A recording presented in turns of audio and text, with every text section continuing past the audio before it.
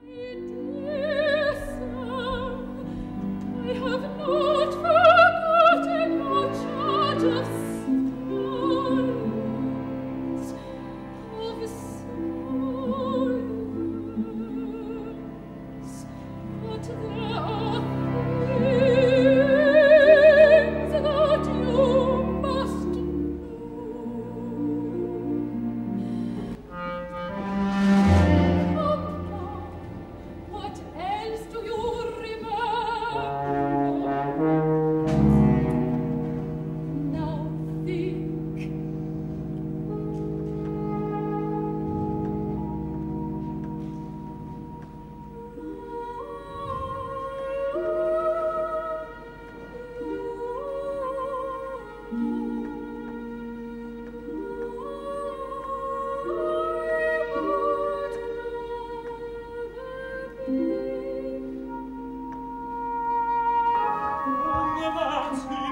Splendebam, splendebam, splendebam,